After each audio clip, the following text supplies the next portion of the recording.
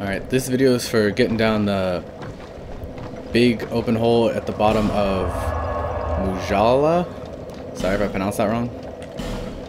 Uh, first thing you gotta do is make sure you got on, or use a human effigy to make sure your health bar is full because you're gonna need at least 900 health to be able to survive the first drop.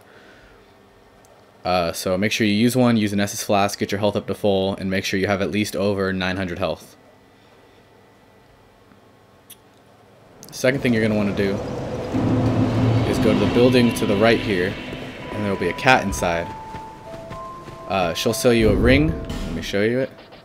It's called the Silver Cat Ring, and it reduces fall damage, which will make the initial fall, it'll make you able to withstand it. Uh, she's right here. Just open this door. There's your cat, just chilling. So uh, a little tip is also to take off some of your armor if you're a heavyset character, uh, just to make getting around a little easier. There's one or two eh, sort of difficult jumps. So when you get right here, position yourself right in front of this wood plank that you can see it down there, and just roll off the edge. You're gonna take a lot of damage, so use the Estus flask. Right after that, just hop right down here. And you're gonna want to hop down onto this one.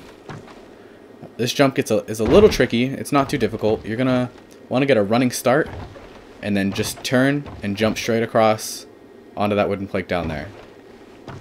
It'll take away eh, about half of your health probably.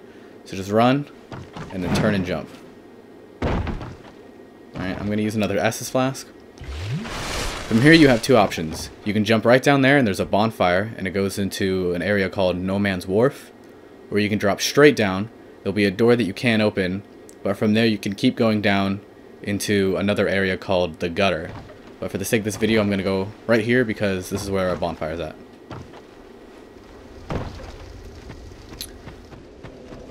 Easier area, uh, pretty easy enemies, uh, a couple good treasures. Uh, if you go down to the gutter, it's very dark. Uh, it's a little harder to get around. Uh, slightly diff more difficult enemies. Anyway, I hope this video helps, and I'll see you guys next time.